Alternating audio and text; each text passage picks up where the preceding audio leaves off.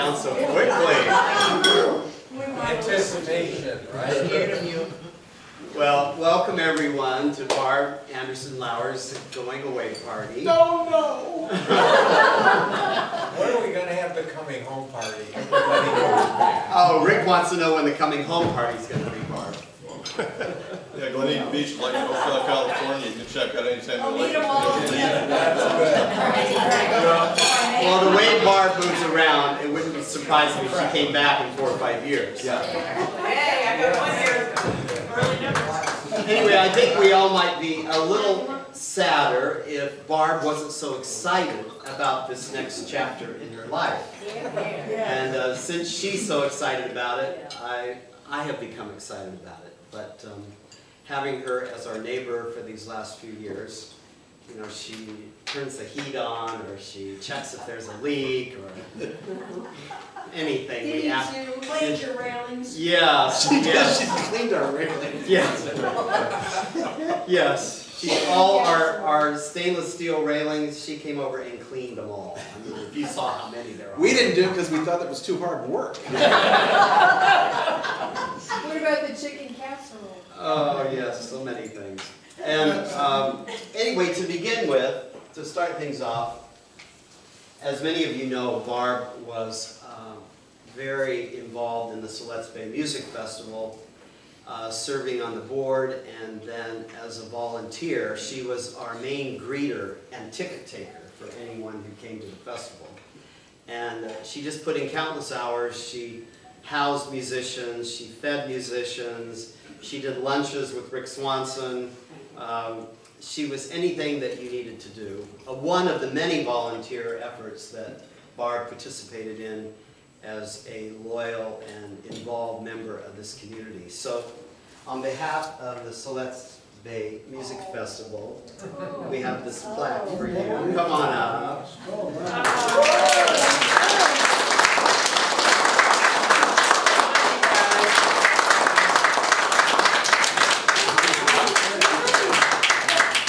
You couldn't be better. I love Do you it. want to read it? It says Barb Anderson, the Siletz Bay Music Festival, thanks to you and honors you for your many volunteer hours supporting the festival. We will miss you.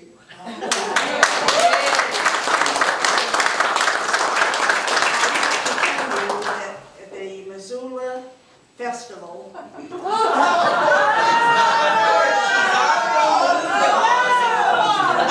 has already asked me to go on Of their course, board. they all However, I told him no, I was uh, finished with all that. But it's where Lindsay Deutsch played last year. Barb And and Anderson so they knew us, they knew Siletz Bay, they were thrilled to death that I'm moving there, and thrilled me to death to, to introduce the maestro to my daughter, who was absolutely embarrassed that I would go up to the maestro and say to him, I know some people that you know. Hey, well, I could write a letter on that, would you? She can take our music festival and explore. So this is great, thank you so much.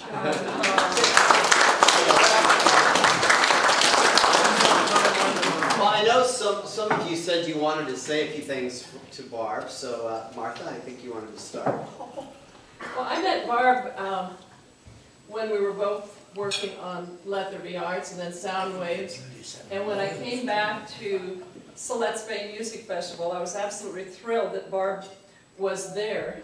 She brought so much to it as a volunteer, so much class, so much management experience, and it's just been wonderful working with you, and I'm really sorry to see you leave. Well,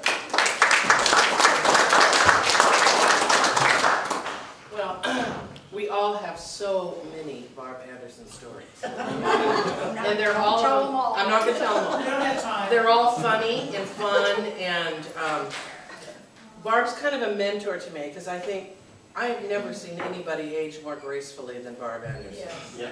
Oh. She's beautiful, she's engaged, she's, she's alive, to oh. That's one of the stories I wasn't gonna tell. Anyway, I just want to tell, tell you about two things about Barb that I think were really fun, and- a large volume of things that were fun. Uh, one of them was when she was having a lot of her health problems here recently, she was taking trips back and forth, and she was worried about herself, I, we were all worried about her. We didn't know quite what was going on and how bad it was gonna be. And she wanted me to know that everything was taken care of, and I could have all her beautiful clothes to wear. Not a problem. We've had this discussion many times. But then when everything turned, when everything turned around and everything looked good and everything was really great, she said, I bought a whole bunch of new outfits, you're not getting a thing. All right, that was one of them. And the other one is a story about when she contacted a lot of our businesses for ads. The first year we decided to sell ads in our program. Barb took it real seriously. And she went out there, and I'm telling you, she sold more ads, double what anybody else sold. She was out there, she knows everybody, they know her. And I said to one of the businesses, I said, wow, I can't believe it. Oh wait, she's directing traffic here. Yeah, I- Mary Ann, the guys are right there. There. Okay, now we got that organized. I knew. All right. Uh, and so I went up to one of them and asked him, I said, I can't believe it, everybody that Barb Anderson contacted for an ad, bought an ad, everybody. I don't have that record, how, I don't know how she was gonna do that, how did she do it? And I said, why did you buy an ad? He said, you know Barb, I was afraid not to. You got him, Barb, any way you get him, as I say, is good. True.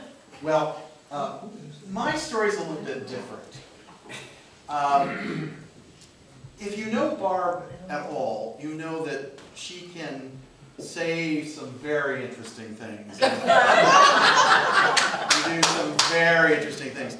Well, I had uh, fairly recently retired from investment banking, and we were fortunate enough that my number one client, uh, some people from the East Coast, came out to visit us.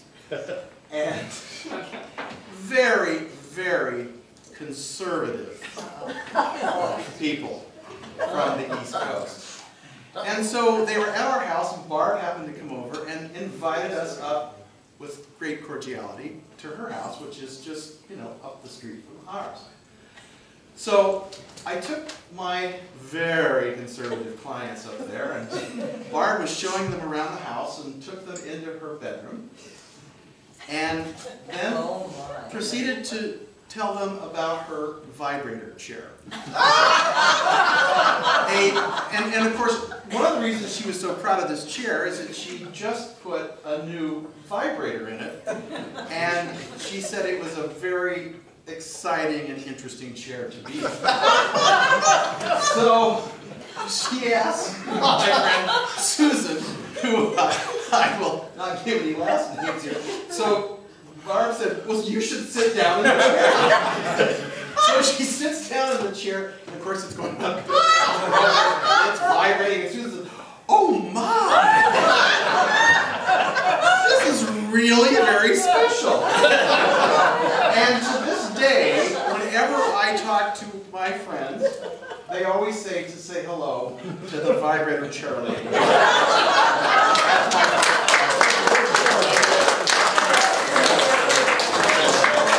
lady. That's my Can't top that here. Okay, Larry, I think you were gonna say something. Am I last? No? Oh, we can never guarantee Now that. Yes. Oh, Larry wants to be last, so, He needs to be. so somebody else. I know. You have stories out there. No, please don't. Yeah, where's the chair now? Yeah. Are you taking it with you? Ah, looking She's for the chair. Where's the chair now? Oh, she broke it. No, I. My, my grandson broke it. My grandson, who's the triathlon, Yeah, Yeah? Now you've got your grandchildren sitting in there? It, it- it was a chair that I bought at uh, Sharper Image years and years ago. And I've gotten chairs for all the kids the same way. It's so good. It does your back and it and does everything. And so my grandson, the one that I had, I just loved. And I had it all redone when I left Hawaii because it was all rusted inside, well used. Uh-huh. And, and I brought it from Hawaii to here, and that was the chair that your folks had. Then my grandson came, and I think he used it too often. But it did finally break down, and I, it, it's gone. I'll, I'll let I'm gonna get know. new ones.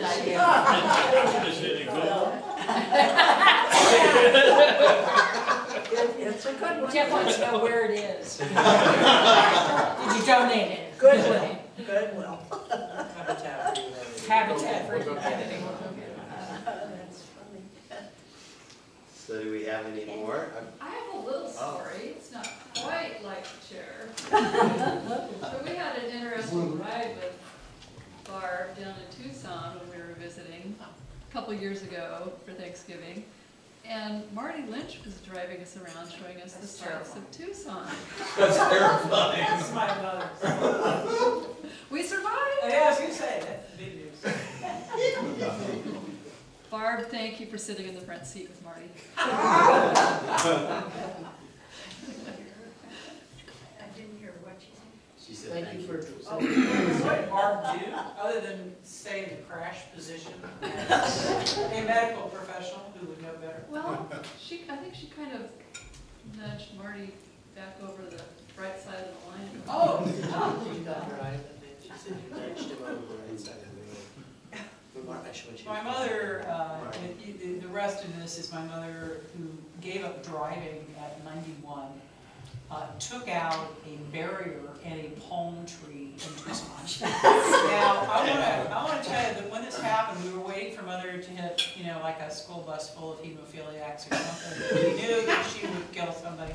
But the palm tree was sort of interesting because she got a uh, speeding ticket. So it took out the whole thing, she took out the entire barrier, the tree, the entire thing, and then she wanted to find a new car. So that was the message. So this was very shortly before that they, mother took them to show them Tucson. Connie was like, I'll be okay, I didn't know it was a cruise. Well, the nicest story about Tucson that I can tell you is, They're still talking about you. I'm gonna talk about, All right, is uh, Bob Lenish. Yes. Um, in nineteen fifty-two, nineteen fifty-two, I lived in Tucson, Arizona. And, um, really loved Tucson. I had moved from Oconomowoc, Wisconsin, which was, uh, when I'm going into the snow and all the rest of it Uh, repeating. and moved into uh, Tucson, Arizona. And one of my many friends there, um, I just, I was a nurse, and worked for um, uh, Tucson Medical Center. And one of my friends was a piano player. Now, how many years would this be since then? Sixty-one. Fifty to- to the- Barb. two- Sixty-one. two A hundred- long Sixty-one. Long. Sixty years later, sixty-two years later, this same man is playing the piano at the Arizona Inn. And Barb and her oh mom knew him well. And he remembered her. Yeah. Oh, Why wouldn't you? And so, the, my first night there, where do they take me but to the Arizona Inn? And here's this guy sitting at the piano. I- It was just, it, it, it was deja vu. I loved it. We had more fun, got together, we still keep in touch with each other. he still plays the piano at Arizona Inn. And the I- punchline is, he says to me, is she still married? I'm thinking a trip to Arizona. Well, unfortunately, and and maybe fortunately, I don't know, uh, in all my life, I've only been married seven, uh, eleven Seven years. times? Eleven years. Oh, In that my was seven times. Yeah, no. Uh, My first husband died in World War II. And so I stayed single until I was 54, and then I fell in lust. Every woman at 54 should fall in lust. And I met a very um, interesting man who was a musician, and that's where I got my musician uh, interest in more than anything else. And unfortunately, um, uh, pancreatic cancer took him in four years. Wow. So I never got married again. That's the Lauer. I've dropped Lauer, everybody. I'm going to Montana. It's just Barbara Anderson. I don't want that anymore. So it, uh, I've had a extremely interesting life as a, a nurse and um, ended up, I think you all know, CEO of Kaiser for the Hawaiian Islands. And that's, uh, you know, for a little old three-year uh, Catholic hospital nurse to go from, from that kind of education to a master's in, in uh, business and, and run a, a whole island for Kaiser. um, Has been a great trip. And I've loved it and I've had fun and lots of wonderful memories, including the snake dress. Could you say a few words about the snake dress? A lot of people don't know about the snake Yeah, dress. Has anybody seen the snake dress Yeah. Oh, there? yeah. Okay, before, before she tells you about the snake dress, I had it printed at our local Walgreens. And I went to pick it up, it's the largest, most exotic version you can print in Lincoln City, went with it up.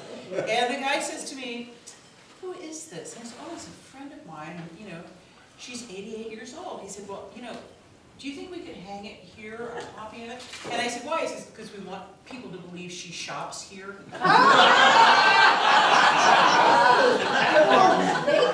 Well, I love it, but that was taken three years ago when I was On on the the cruise cruise. with Rocky and Rich To Brazil. to Brazil. Or- And this past uh, Siletz Bay Music Festival, I wore it again, but 15 pounds lighter. So There's that's a lump in there. That's got some lumps. I'm gonna Photoshop it out Yeah, to make sure that it needs to be lumps. airbrushed.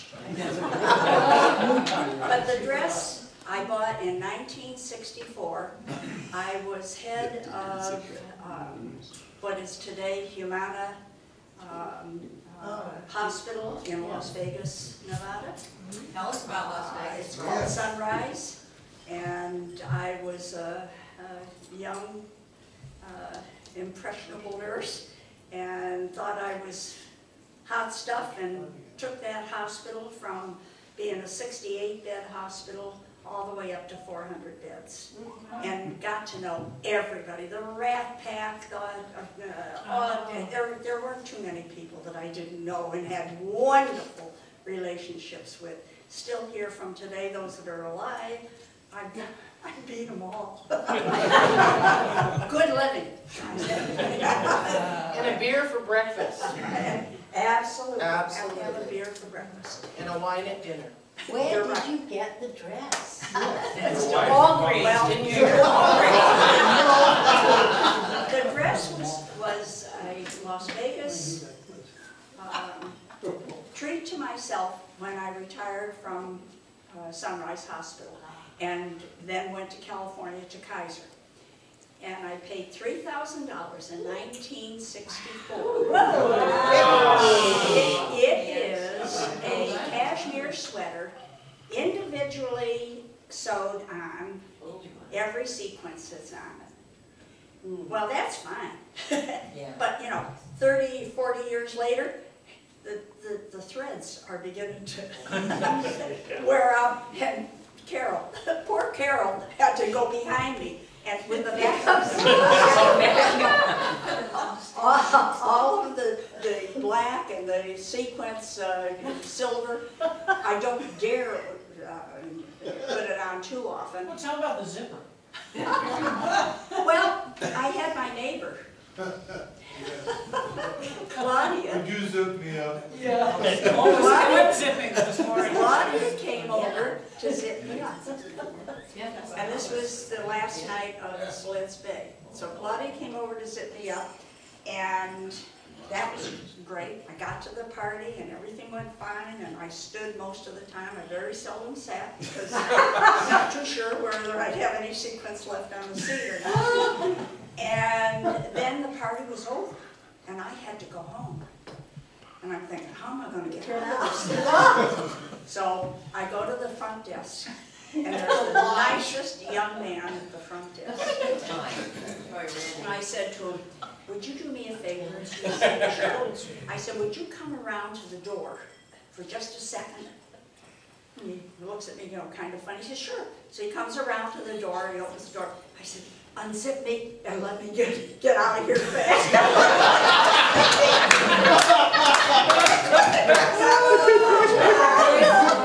That's all I got. Hey, can I Did he have that say a dress white now? Oh, That's really fun. I don't think you could sit down in that dress on the cruise, Barb. No. Barb, you didn't really, you never really sat, da- when we were on the cruise, you couldn't really sit. No, didn't Yeah. dare. Yes, Oh, we had a great time, and that's why they called it the snake dress. It got to be a, a very. And that dress weighs about twenty pounds. It's heavy, it's it is very. It is, it's, uh, it, it's an interesting dress, and I still have it, and I think probably I'll be, be buried in it. It has too much history. Exactly. Say, Barb, what about the Rat Pack? Tell us about the Rat Pack. Uh, The Rat Pack? Yeah. Well, while I lived in Las Vegas, I, I really had, um, I had great association in my early years of nursing with the mafia. And I know a lot of people would say, oh my God, no. But they were awful good to me. It was World War II. I never wanted for white stockings. I never, and I was just a nurse for them. I never wanted for electrical appliances, I never wanted for anything. And I would take care of them, and I'd come out of the, the bedroom, or out of the, uh,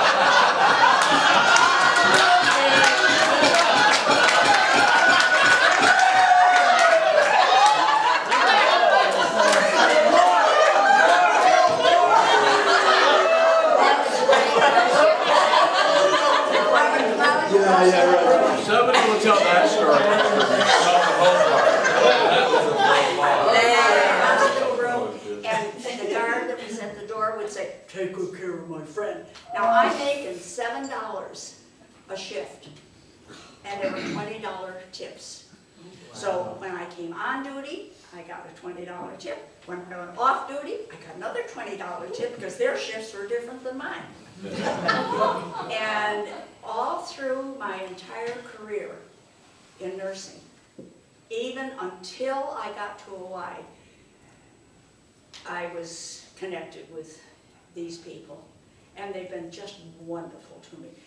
And with that said, I got to Las Vegas, and needless to say, you know, the Rat Pack, and uh, Frank was, he was mafia, and they all knew me when I got there, and just treated me like a queen the entire time I was there.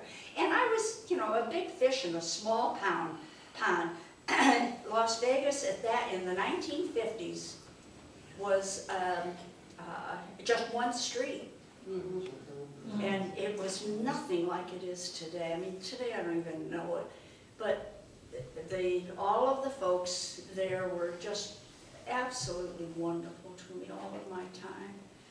And so I do have a lot of stories. A lot of them. So, you're saying we shouldn't mess with you?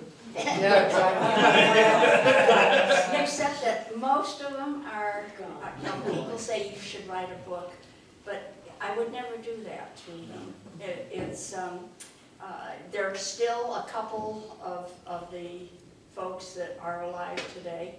Uh, not too many, uh, I, I can only think of one right now in Las Vegas that's still alive.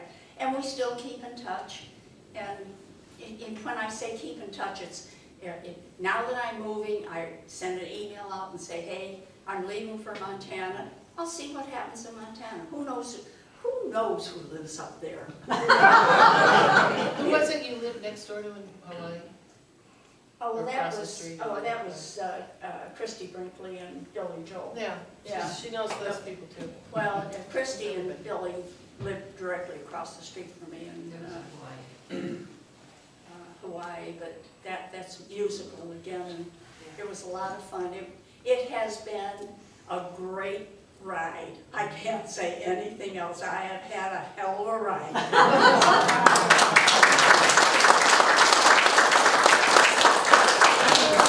Okay, Marianne.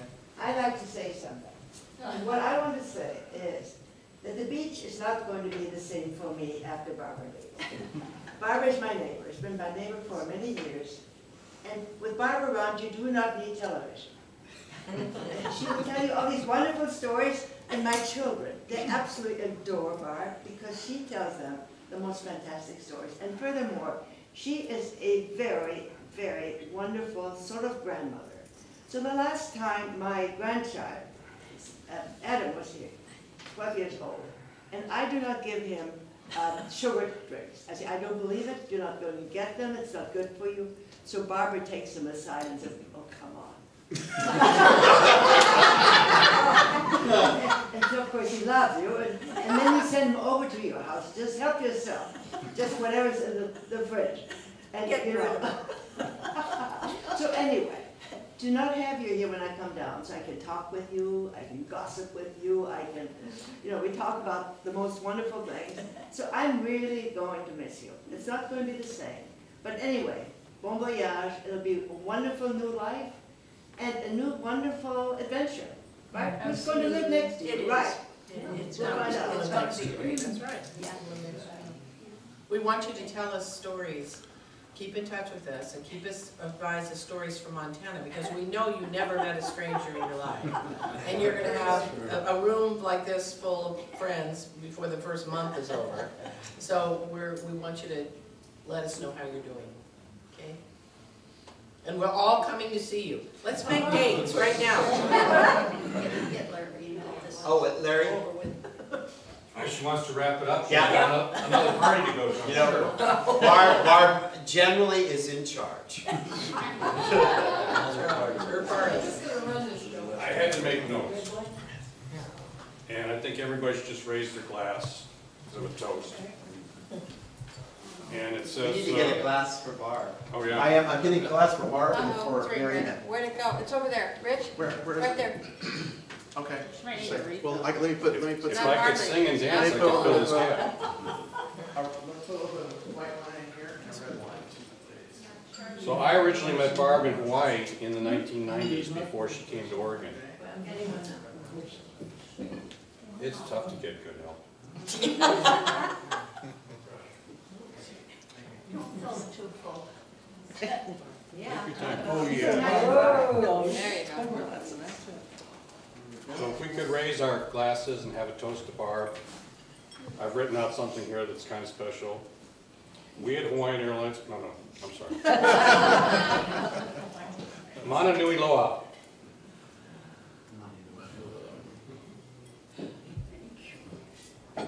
Which means from all our hearts.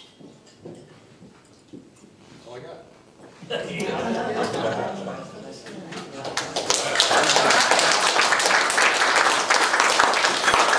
It also means hello, goodbye, and I love you. Well, many of you know that tomorrow is Barb's actual birthday. Uh, Brooke's gonna do that. Okay. So, um, in honor of her birthday, I have a little song I'm gonna sing for you a cappella. That's for your birthday, and it's a sing-along, so you can, and you're gonna know the song. After, after I do the verse, you're gonna know the song. And I want you to join in. And uh, then Brooke will bring a cake out and we'll sing happy birthday. And then we have Brooke, uh, Brooke's beautiful carrot cake. So, we have a fire extinguisher handy? so here's your song. Now that it's your birthday, I don't know what to do. I can't give you a Porsche or a penthouse with a view. I can't even buy a little present. I'm much too broke, you'll find. But there is one way we may save the day, and I sure hope you don't mind. We can't give you anything but love, Barbara. That's the only thing we've plenty of, Barbara. Dream a while, scheme a while, you're sure to find happiness, and I guess all those things you always dreamed of. Gee, it's great to see you looking swell, Barbara. Diamond bracelets, Walgreens, Walgreens, Woolworths doesn't sell, Barbara.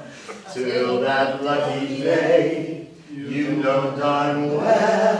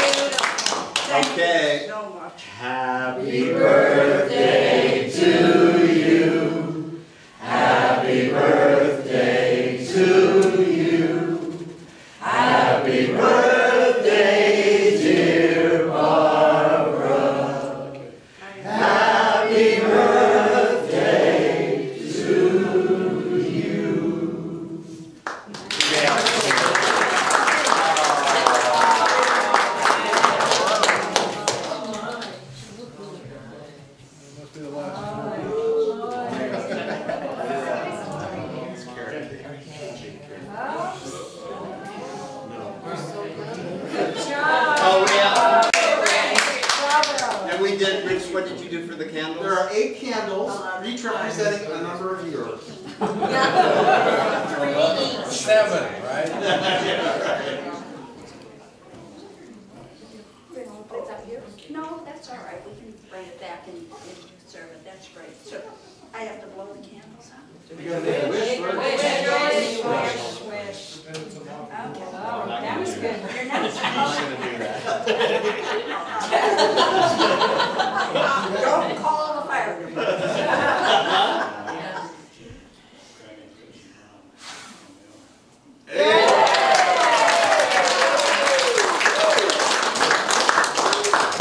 Please enjoy Brooke's wonderful carrot cake. It's my favorite with Brooke and, and it's a huge one here and everybody should have it. And thank you all for coming. I, I just, I really can't thank you enough. It's, it was Barb and Rocky and Rich for giving me this party. It has just been very special, very special. And we got it recorded. Yeah. Really, yes, recording the whole thing. Good job, Rudy.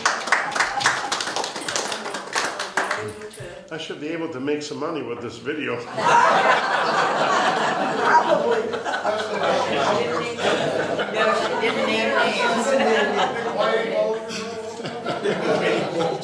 Yeah, right.